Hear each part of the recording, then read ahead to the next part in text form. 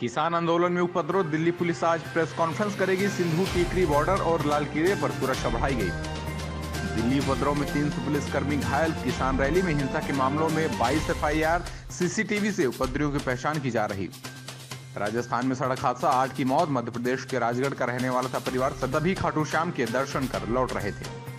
देश में कोरोना संक्रमण से जान गंवाने वाले 70 परसेंट ज़्यादा लोगों को दूसरी बीमारियाँ भी थी। इनमें 60 साल से ऊपर के 55 प्रतिशत लोग थे।